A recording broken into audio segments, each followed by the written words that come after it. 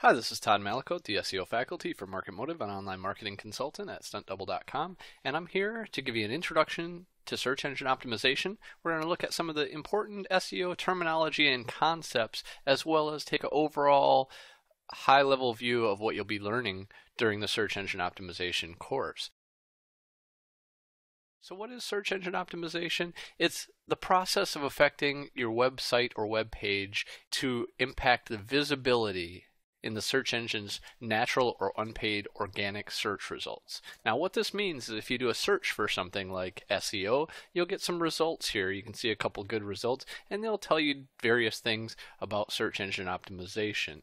And when you're doing this search for something like what is SEO, you'll see ads to the top and to the right and you'll see that they're labeled and there's a little thin background there as well.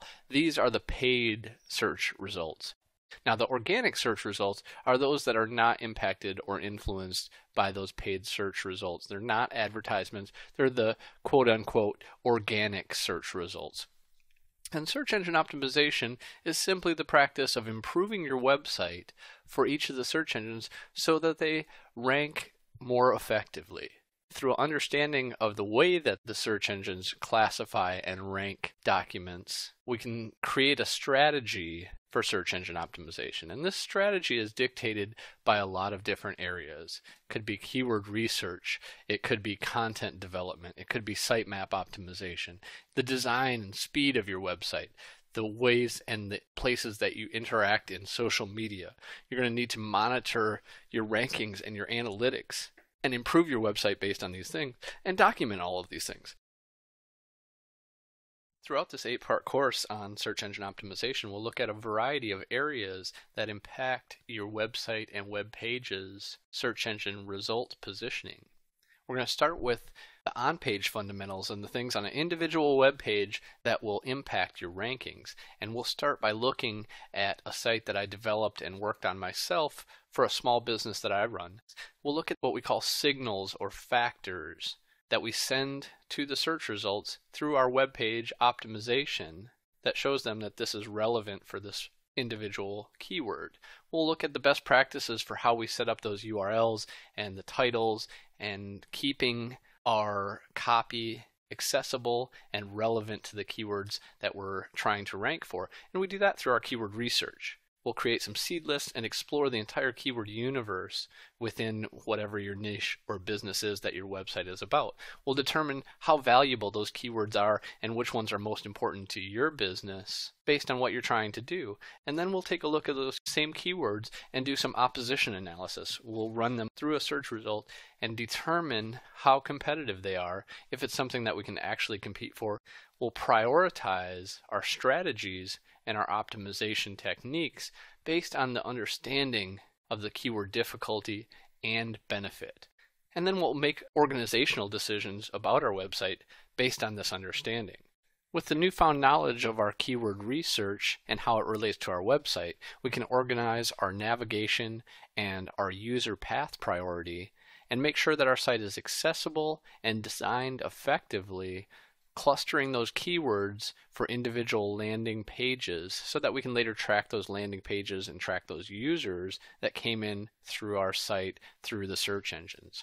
We'll also look at some of the domain and site wide best practices considerations like exact match domain versus partial match domain. We'll look at some duplicate content concerns and areas where you might want to block things with robots.txt or redirect content with 301 redirects. We'll look at some sitemap best practices and how to further organize your site at the site wide and domain wide level so that bots or spiders crawl and index your site effectively. We'll also consider link building and the types of links that we want to get and the value of these links. We'll look at some tactical examples of how to build links, as well as some considerations and factors that may have a negative impact on your website's search rankings.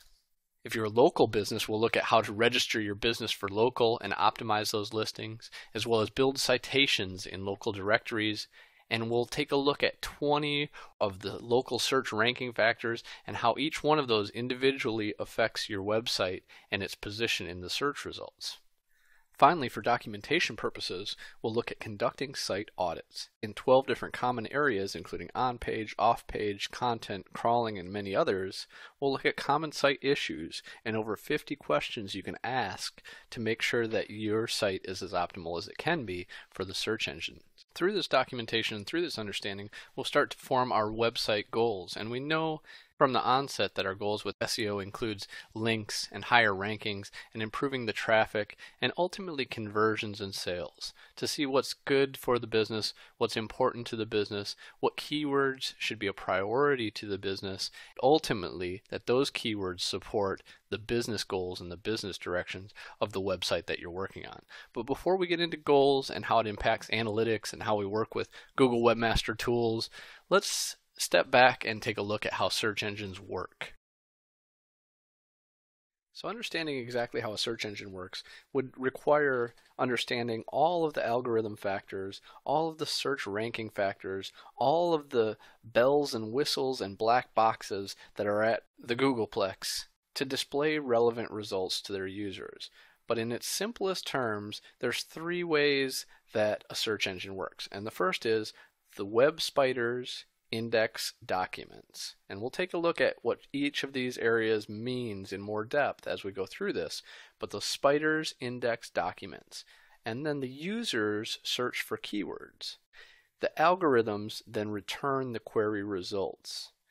The algorithms decide what's relevant to what the user searches and presents those results to the user. So as we dive into this a little bit deeper, we see some synonymous terms associated with a lot of this vernacular and SEO jargon. So we want to identify and define some of these terms as well as the synonymous terms associated with them. So with spiders, they're also called robots or crawlers. It's synonymous with spiders. These are all ways to say search engine spiders. And these spiders crawl the web, thus they're called crawlers, and they're software to find and organize websites. They're just creating that index, that database of information. The spiders are the document discovery phase. They find websites and crawl to another website, or they find a sitemap and they crawl to another web page, and they index those and put those into the database of information. And that database of information is called the search engine index. You'll hear this called the index, the database, Google's database, index, etc. And the individual documents that they index within the database consists of different file types. It could be a HTML document, it could be CSS, it could be a Adobe PDF portable document file. It could be a lot of these other files, but it's really an individual document and they spider and collect and organize a multitude of documents. So these search spiders index documents. That's the first step in the process. The second step in the process is the user search for keywords. And users are on a variety of devices and they're searching with a variety of intent. And they expect that they're going to get relevant search results. That's why they come back to Google, is because they return relevant results. So these users are searching on a variety of devices. So you need to make sure that your website is mobile and PC friendly. We're entering the era of more people searching on mobile quote unquote devices, being iPads and iPhones and Android devices than ever before. It's actually surpassing desktop market growth, and there's more people searching on mobile than on local now. We see that this is an important component to serve the user what they're looking for based on if they're mobile or on a desktop, because the experience is going to be a little bit different. And the users search keywords. They search almost exclusively on Google. Google has 70 or 80% market share. So when we talk about SEO, most times we're talking about Google. They serve over 5 billion queries per day. That's over 115 queries per month. And of those 5 billion queries per day, around 15% are new searches, meaning something that's never been searched for before. So these users are searching phrases and keywords that have never been searched before on Google. They're unique.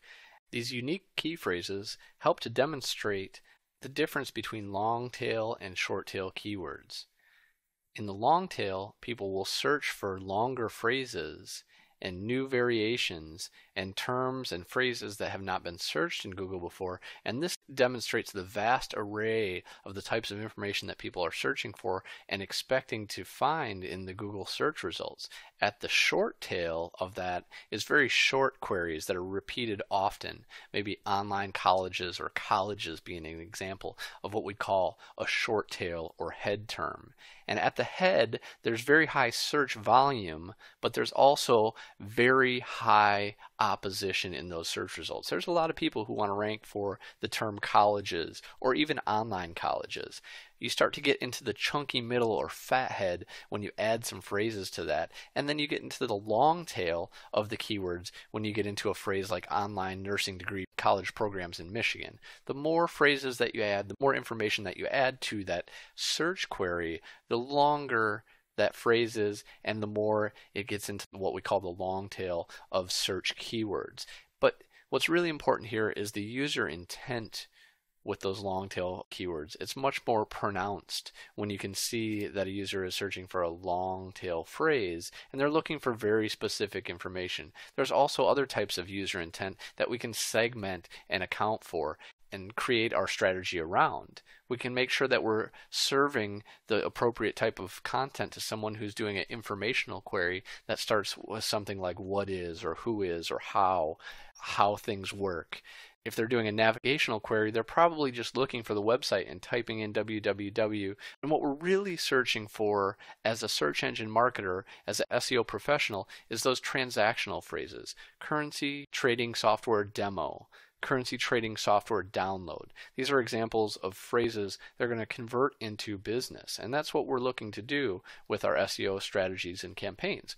We want to target these high value users, and a very good predictive indicator of high value users is cost per click or PPC prices. Google is selling each one of these keywords, and we can see how much it would cost to purchase those if we were going to purchase those through PPC advertising. There's a big difference between things like currency exchange and currency trading. The intent with currency exchange is a traveler exchanging some money to travel. With currency trading, it's a stockbroker looking for macroeconomic information and looking to trade currencies with some type of platform.